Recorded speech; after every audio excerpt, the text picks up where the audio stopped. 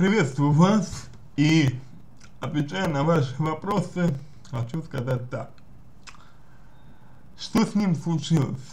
А, случилось с ним то, что он начал встречаться с другой девушкой, значит, в надежде, что она поможет ему вас забыть, но у него это не получилось.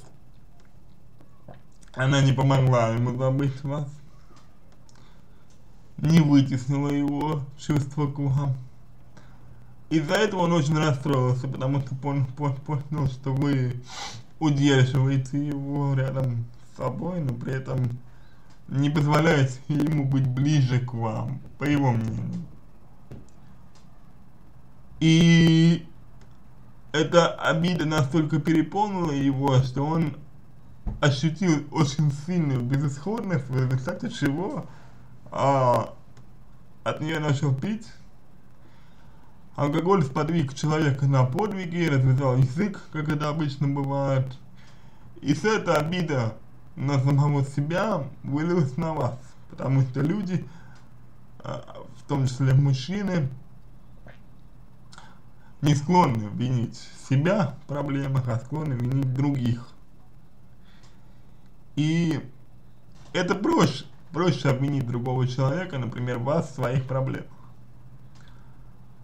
Ну, мужчина, мужчина находился в очень э, растрепанных чувствах, и его можно понять. Хотя, конечно, оскорбления даже в этой ситуации мне кажутся неприемлемыми, но это уже сейчас лично вам, эм, могу сказать только то, что оскорбление есть как бы вы, высшая точка кипения его эмоций. То есть, видимо, это копилось все не первый год. И вот вылилось в итоге в такие вот оскорбления. Э, вести вам себя сейчас с ним нужно очень пассивно. То есть, вот он вам наговорил кучу, кучу всего, соответственно, оскорбил вас совершенно незаконно, неоправданно, обидел вас, и, ему же нужно перед вами извиниться. Если, это, если это произойдет, продолжите общение, тогда уже можете поговорить, выяснить, выяснить отношения, может быть даже сблизиться. Если этого не сделает он, то тогда и не нужно ему разговаривать, э, не нужно ему звонить, не нужно с ним разговаривать, он видимо, считает, что вы должны быть его за все то, что он для вас сделал.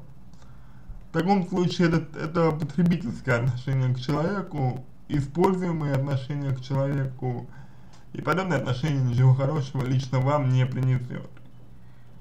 И при отсутствии извинений э, и уважения к вашей самооценке, к вашей гордости, к вашему самомнению, э, не стоит самостоятельно ему навязываться, потому что все-таки он мужчина, и если ему не хватило смелости признаться вам в своих чувствах раньше, но зато хватило смелости наговорить гадости, то если, если он хоть чуть-чуть вами дорожит, он решится на извинения, и это будет поступок, который может стать началом ваших отношений.